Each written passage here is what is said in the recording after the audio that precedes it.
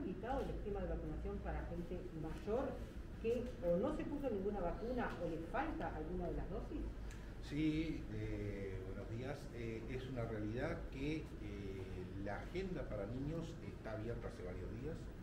Al día de hoy, en lo que va de Soriano, con los números de hoy y mañana, hay ya 1.600 niños agendados. Quiere decir que la gente está ávida de adherir a esa vacunación en esa franja de 5 a 11 años.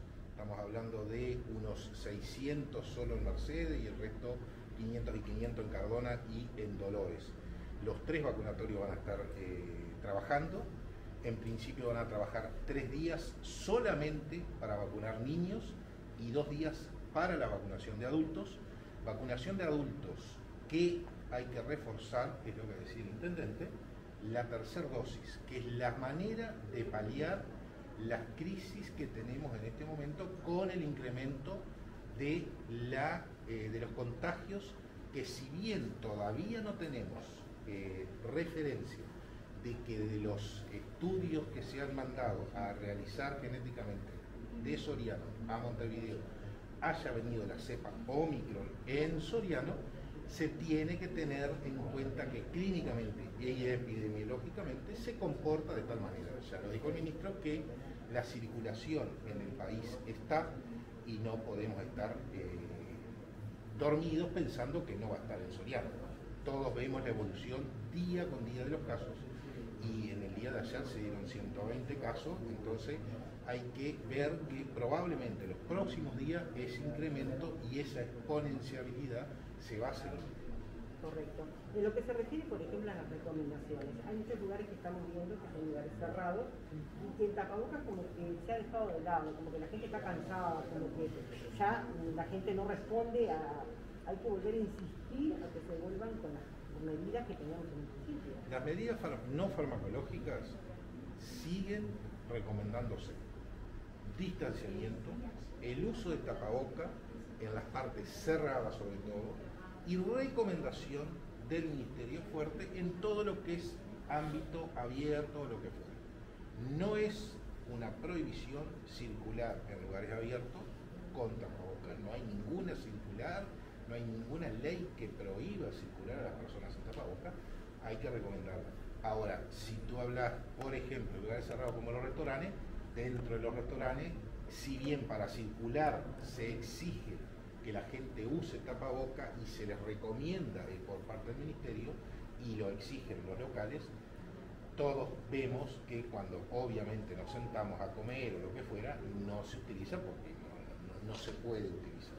¿Qué va a pasar con el, pueblo a pueblo? Un, un, pedido que mucha gente está preguntándose fundamentalmente por aquellas personas que no han llegado a la tercera dosis y también por los niños, porque hay gente que vive en localidades chicas y a veces es difícil irse hacia Cardona, Mercedes o Dolores a, llevar a sus chicos a vacunar? La estrategia del Ministerio para niños solamente, únicamente y exclusivamente por agente. Ahora, el pueblo a pueblo se está estudiando a nivel central y cuando haya alguna directiva clara de que si se puede o no realizar, se dará a conocer y ahí se, se hará la misma estrategia que se ha venido haciendo antes. Ahora, es eh, como quien dice a veces llover sobre lo mojado. Acá en Soriano se hicieron seis rondas de pueblo a pueblo en los 17, 18 localidades pequeñas. Hay gente que llama ahora un poco asustada, pero porque no tiene ninguna dosis.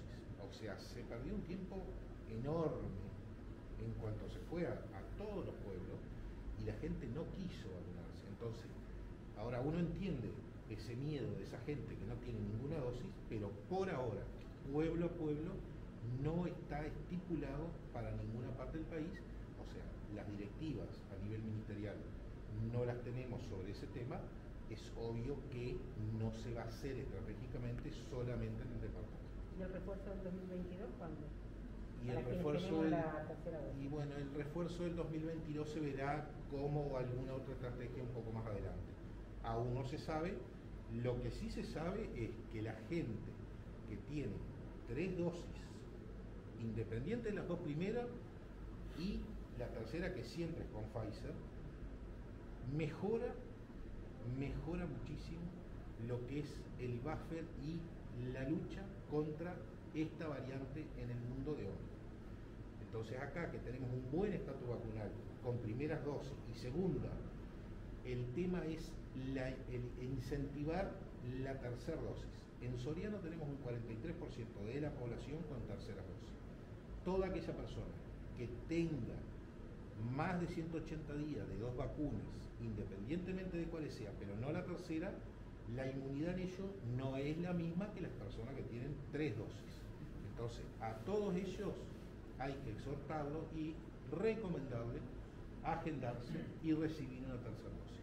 Porque una tercera dosis y siete días sirve para muchas cosas. Una de esas, una de esas es paliar un poco lo que es la variante Omicron, que repetimos de vuelta, incansablemente lo hemos dicho, no previene el contagio, ni una, ni dos dosis, ni las tres. Previene sí la enfermedad moderada, severa, grave y obviamente la muerte. Eh, todos sabemos que ante cuanto más gente grave internada, y ya lo vivimos, aumenta la mortalidad. Doctor, eh, si bien este, eh, dio algunas directivas del Ministerio de, Salud Pública respecto al tema de cuarentena y el reglamento social, eh, ¿qué, cantidad hay de personas en, esa condición, teniendo en cuenta que hay unas 360 al cierre de ayer, que son casos positivos? Así que hay una estimación. Bueno, hay, hay, un cálculo, como tú bien decís, ¿sí? Eh, hay 360 y poquita en Soriano positiva, hay que calcular unas 700 personas en cuarentena esperando. Entendamos que también hay mucha gente que, si bien por el protocolo nuevo se tiene que testear, por el estado inmunitario no debería ser cuarentena.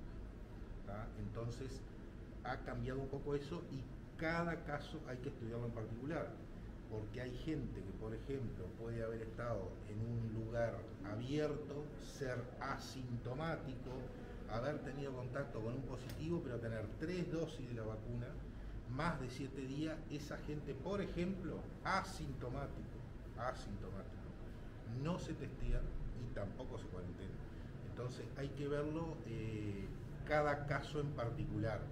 Y se da mucho sobre todo los brotes familiares, por ejemplo, de gurizada que se ha contagiado en algún evento social, digo, todos lo hemos visto, digo, que han aparecido algunos casos en, algunos bailes de, todo el departamento, y bueno, que esa gente lamentablemente ha contagiado parte de la familia, y en la familia, por más que uno tenga tres dosis y esto, como es un núcleo cerrado, es un ambiente cerrado, eh, todos conviven muchas horas, eso sí todavía es cuarentena del núcleo familiar y los hisopados correspondientes, que siempre son en las primeras 24 horas, de ser posible, estar rápido, y a los 5 días se está recomendando. Entre 5 y 7 días se recomienda el PCR para ese tipo de, situación. Eh, simplemente para, aclararle a la población, eh, se suspendió un partido de, de, sí, la realidad. Eh, para explicarle en el torno de, esa normativa que hay del, Ministerio de Salud Pública, cuáles fueron las razones en virtud del hecho que, dado, porque además se confunde a la población con que desde una dirección departamental de salud aparentemente se autorizó y desde la otra se dijo que no, pero que en realidad la normativa es única. Claro, el, tema ahí que se suscitó, eh, nosotros nos enteramos ayer cerca de las 7 de la tarde, de un evento, de un partido de básquetbol que se iba a hacer entre un club de Río Negro, Anastasia, y un club de Dolores, Bellavista. Bueno, la, situación se dio en Río Negro en particular, donde hay un brote de jugadores de ese club, hay tres hasta el día de hoy, y hay 12 eh, más testeados. Hay algunos de ellos, en particular uno de los jugadores, que convive con otros tres jugadores que si bien se le había hecho un test rápido que dio negativo, están a la espera de realizarse el PCR el día domingo. O sea, se haría el día domingo por el quinto o sexto día, el resultado estaría el lunes, entonces estaría pendiente ese resultado. El tema se suscitó que eh, nos enteramos cuando se rastreó esa situación en Río Negro, alguna de las personas eh, involucradas en ese brote quizá no fueron demasiado claros, para no usar la palabra de falsedad o lo que. A ver, vamos a entenderlo. Quizá no fueron demasiado claros en decir en qué situación vivían o cómo estaban conviviendo con otras personas. Y recordemos que si una persona pasa varios días con otra, independientemente si es la pareja, un familiar o un amigo o algo, es un conviviente, o sea, se tomaría como un lugar cerrado. Entonces corresponde, por más vacuna que tienen, tengan, testeo rápido, otro PCR a los cinco días y ahí se ve si las personas son negativas en los dos, cuando las personas eh, positivas están de alta o recuperadas por el ministerio, quedan recuperadas. Cuando se nos eh, dio esa noticia, bueno, obvio que con preocupación nos contactamos con la gente del básquetbol, ellos, eh, y le dimos la opinión que no estaría demasiado acertado venir a jugar un partido con todavía pendiente la realización de los PCRs. En realidad deben, deben estar guardando cuarentena. Claro, eh, digo, eh, están, están en cuarentena los juicios. Pero o sea, eh, están en su domicilio. O sea, lo, lo, lo, que no se debería haber pasado y que no ocurrió por, un, por un buen tino de la gente del básquetbol que lo suspendió inmediatamente, con la opinión fuerte que, claro, a ver, si vos estás como conviviente en un lugar, digo, no estaría bueno, no estaría correcto y no sería adecuado salir de ese lugar, hacer un montón de kilómetros en un vehículo cerrado y volver al mismo lugar, porque digo, ahí estaríamos eh, involucrando o sería de peligrosidad si alguno de ellos resulta con el PCR positivo, estaríamos diciendo que, bueno, habría que testear otro montón de cosas. Entonces, en principio está bien suspendido, ¿ah? está bien suspendido, y digo, por una medida que es adecuada a la situación y que si algo está focalizado en un club en Río Negro, sería desatinado también involucrar a otro club en Dolores, sabiendo que eh, el deporte tiene que seguir y, lo, a ver, no se suspende eh, el deporte ni nada, se suspende para dentro de unos días ese partido en particular. Cuando los gurises estén todos de alta o con los test negativos correspondientes, se puede hacer de